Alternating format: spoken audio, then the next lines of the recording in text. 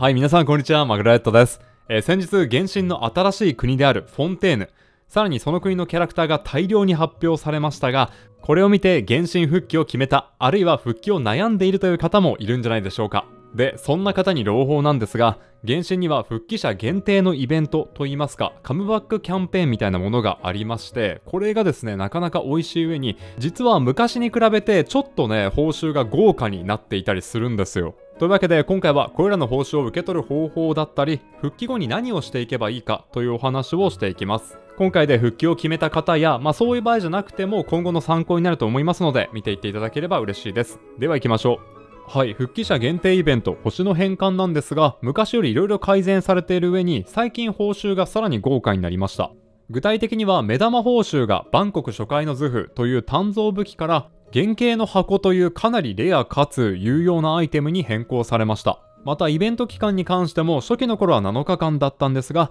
14日間に変更されたことでだいぶゆったり遊べるようになりました、まあ、もらえる報酬の総量はあんまり変わってないんですけどあんまりログインできない人も全報酬を受け取りやすくなりましたはい、そんなわけで以前にも増してさらに魅力的になった復帰イベントなので、ぜひ復帰してやってもらいたいんですが、まずこのイベントどういう方が対象なのか、どうすれば解放できるのかっていうところから確認をしていきます。解放するための条件は3つありまして、1つ目が冒険ランク10以上のデータであること、2つ目が連続で14日以上ゲームにログインしていないこと、3つ目が前回の星の返還イベント解放から45日以上経っていることとなります。まあ1、2についてはそのまんまなんですが、3はちょっと見落としがちですね。復帰イベやって2週間休んで、また復帰イベやって2週間休んでって繰り返しはできなくなってます。一度復帰イベントを開放したら、その後何日原神をプレイしていないとしても、45日間は、えー次の復帰イベントは開放されません。まあ、つまり、一度復帰したら、その後はずっと原神遊んでいった方がいいよってことですね。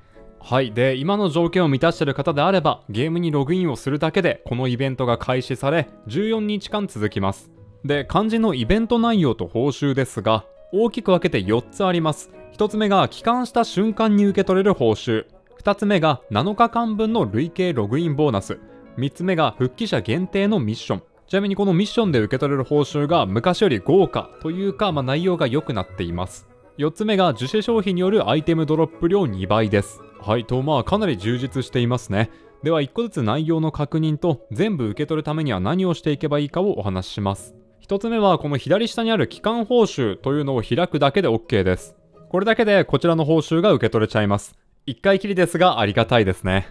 2つ目はこちら、歳月の累計。これはいわゆるログインボーナスとなっていまして、毎日ログインすることで報酬を段階的に受け取っていけます。全部で7日分ありますね。ちなみに復帰イベント自体は14日間続きますので、そのうちの7日間ログインできれば OK という感じです。なるべくログインしていきましょう。3つ目はこちら、帰還の道。これが一番重要な部分なので、しっかり確認しておいてください。こちらは復帰者限定のミッションとなっていまして、14日間のうちに特定の条件を満たすことで、このように報酬を受け取ることが可能です。で、ここに注目してほしいんですが、なんか4つのタブがありますよね。この4つにはそれぞれ異なるミッションが配置されているんですが、イベント初日は予兆しか、えー開放されていません。で、その後1日経過するごとに2つ目、3つ目、4つ目という風に順番に開放されていきます。ただこれ安心してほしいのが、1日に全部やりきる必要はなくて、イベント期間中であればミッションはずっと有効です。まあ中には1日で一気に終わらせるのは難しいものもありますので、コツコツやっていけるといいですね。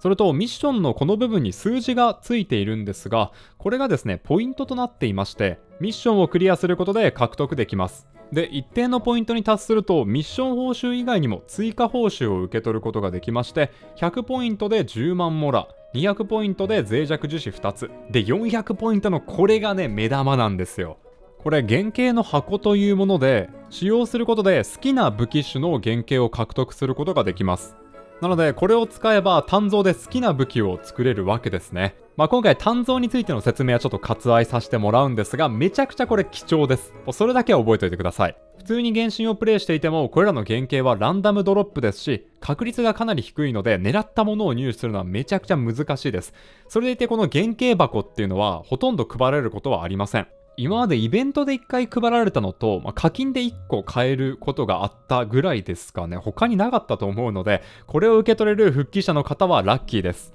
で、これを使って何の鍛造武器を作るのがいいかなんですが、既存の武器では圧倒的に金額施策がおすすめです。廃課金していてもバリバリ使うぐらいのオンリーワンな武器ですし、適正キャラとか、まあ、使えるキャラクターも多いです。で、時点ではアメノマ影打ちですかね。片手剣の火力キャラクターにとってはかなり強力な武器となります。ただできれば原型箱今は使わずに取っておくのが一番おすすめです。というのも次の国フォンテーヌが実装されれば5種類の新たな鍛造武器が登場するかと思います。そうなった場合に原型の箱があればね、強い武器を作ったりとか、凸を進めることができますから、まあ、フォンテーヌの様子を見てから使うかどうか決めるのがいいです。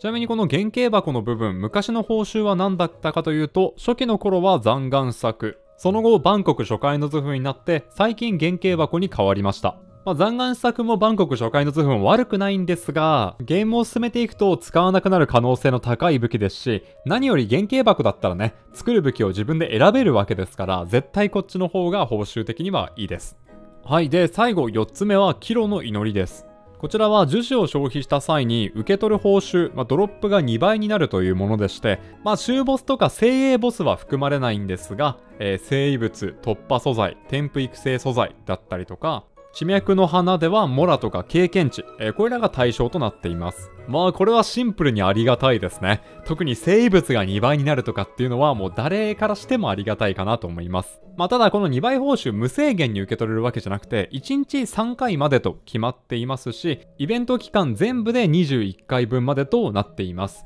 まあちょっと画像だと15回と減っていますが、もともとはま全部で21回分と表示されていましたね。ま、なので、毎日3回分使っていけば、7日で全部使い切れることになります。あと、この2倍ドロップは濃縮樹脂は対象外なので注意してください。普通に樹脂を20使った場合のみ2倍となります。はい、というわけで、これでイベントは全部です。最後に14日間のうちにどうすれば全報酬を獲得できるかなんですが、一番上、歳月の累計は7日間ログインすることで全報酬を獲得できます。2つ目、期間の道は4日間かけてどんどんミッションが解放されていきます。イベント期間中いつでもクリア可能なので14日かけてやっていきましょう。3つ目、キロの祈りは1日3回の実施消費を7日間やっていけば2倍ボーナスを全て使い切れます。ただこれをやっても樹脂を余らしていたらあんまり意味がないので、できるだけ樹脂はね、全部使い切れるといいです。で、一番下の期間報酬は一度ログインするだけで、えー、受け取れます。はい。まあそんなわけで、まあ、できることなら毎日プレイするのが理想なんですけども、忙しい場合とかあんまりログインできないっていう場合にも、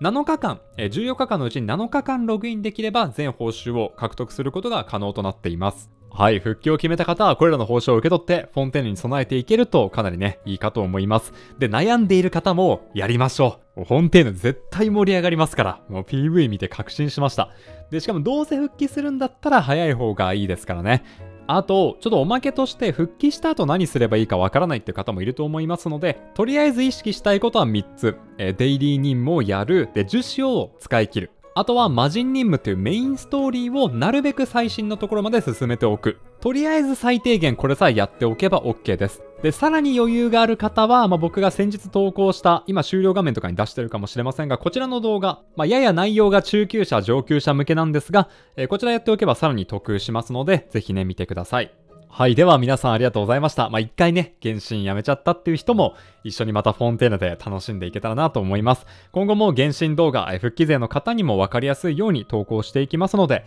よければチャンネル登録よろしくお願いします。では皆さんありがとうございました。